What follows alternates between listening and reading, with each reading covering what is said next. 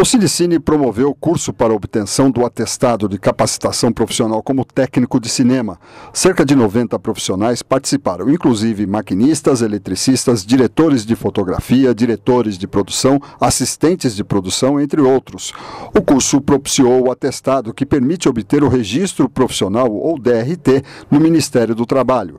Com isso, eles estarão plenamente habilitados a exercer suas funções dentro da lei e também reforçarão a categoria categoria.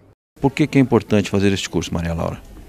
Para regularizar a nossa profissão e eu acho que assim tem muita gente no mercado que simplesmente decide entrar e não tem uma formação, não tem.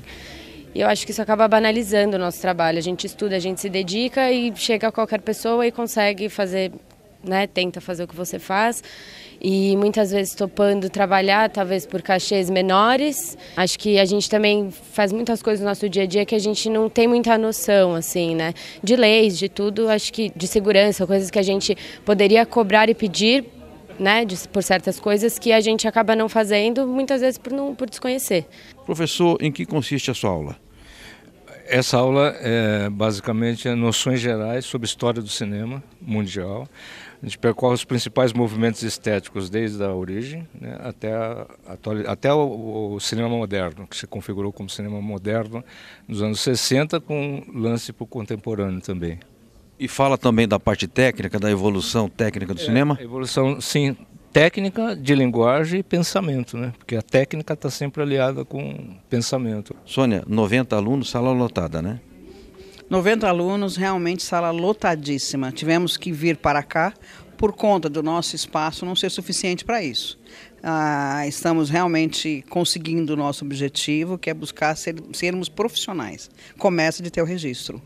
E na sequência nós teremos todos os cursos de, de normatização, de segurança, de trabalho em altura, trabalho em eletricidade. Estamos buscando ter um profissional preparado. Outros cursos virão, então? Sim, virão. Nós estamos, uh, vamos fazer um seminário. Na sequência, vamos fazer um seminário de segurança.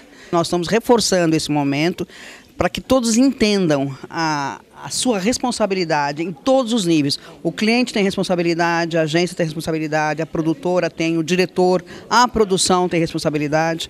Então, agora que to todos perceberam que tem essa, esse medo, digamos, da segurança, né? nós vamos fazer um curso, um, esse seminário de dois dias que estamos preparando, uh, de modo a esclarecer como as pessoas têm que se comportar, como elas têm que se cuidar e cuidar da sua equipe.